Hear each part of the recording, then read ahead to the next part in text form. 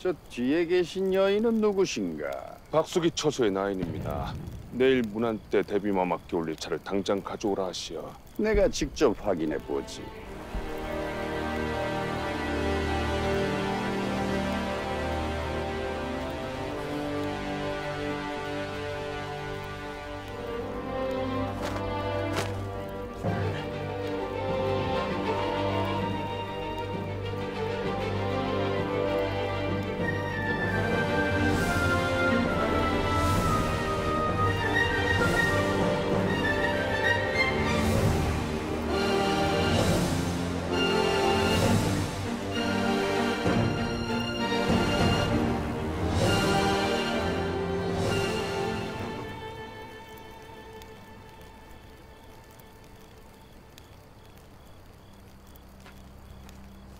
넌 누구냐?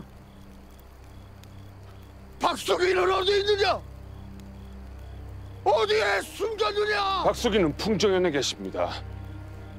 어찌 예서 찾습니까? 닥쳐라!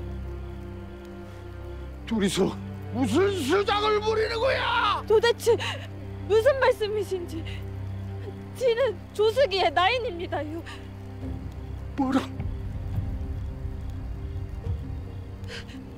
수기 심부름으로 체육당에 갔다가 이분께서 도와달라 하셔서 같이 나온 것뿐입니다. 정말입니다. 네 앞에서 거짓을 고하는 게야! 당장 사실대로 말하라! 박수기는 어디 있느냐? 무슨 말씀인지 쇠는는 죽어도 모르겠습니다. 내 이기야! 나인을 데리고 가시오.